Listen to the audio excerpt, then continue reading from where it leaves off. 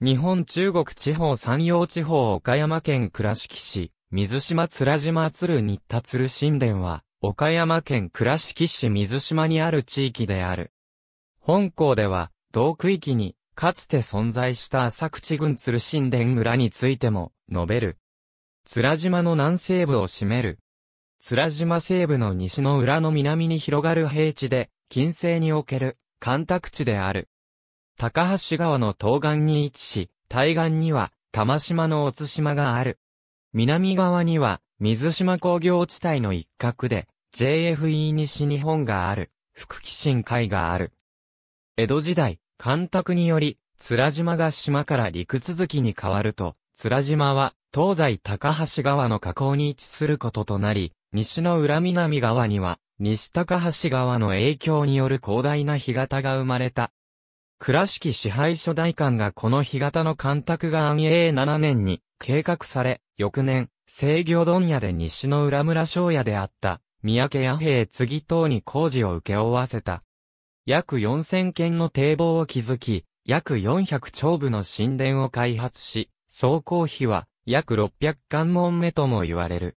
さらに、安永10年から始まった工事は、同年の大風波などによって、一旦挫折。養子の渡郎によって、完成初期から開発予定地を細分化して再度進められた。完成5年に8丁一旦ほどの神殿が開発されたが、次の築堤工事にかかったところで、西高柳川西側の住民から水はけが悪くなるとして訴えられ、今日は3年に神殿の一部を川西の村々に無償で引き渡す条件で和解した。前述の神殿を開いたのを皮切りに、文化、文政、天保、高価年間と数度にわたり、干拓が続けれ、いずれも幕府領となり、倉敷大官所が管理した。文政6年に、当時の倉敷大官、大草太郎乳母政教が、東隣の亀島神殿に対し鶴の字を用いて、鶴新田村と命名した。天保2年、成和藩山崎市の所領であった北面神殿村と領地交換となり、鶴神殿は、成和藩領となる。鶴神殿の国高の5分のほどしかない、北面神殿と交換した事情の詳細は不明である。幕末頃の状況は、第135兆3単、畑171兆9単、宅地6兆6単、戸数271件、上木、王1220人であった。明治5年に西の浦村と合併し、同13村に、再び分村し、鶴新田村となる。同22年6月1日に、村政による鶴新田村となり、同36年1月1日に、鶴神殿、西の浦、亀島、面島の4、村が合併し、新たな面島村を新設した。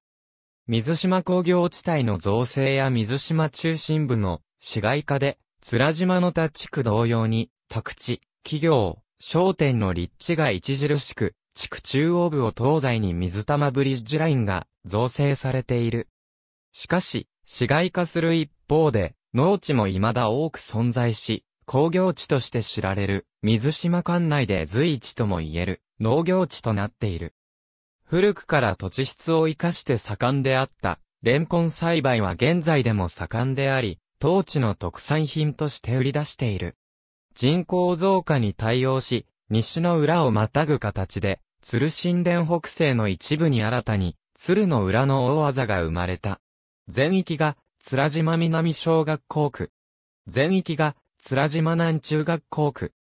高橋川の運んだ土砂による干潟を干拓したことによる土地質を生かし、近世からレンコン栽培が盛ん。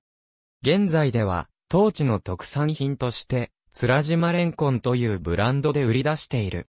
倉敷市が制定した倉敷ブランドにも選定された。住所なき者は、鶴神殿に所在する新田村に関するカテゴリー。ありがとうございます。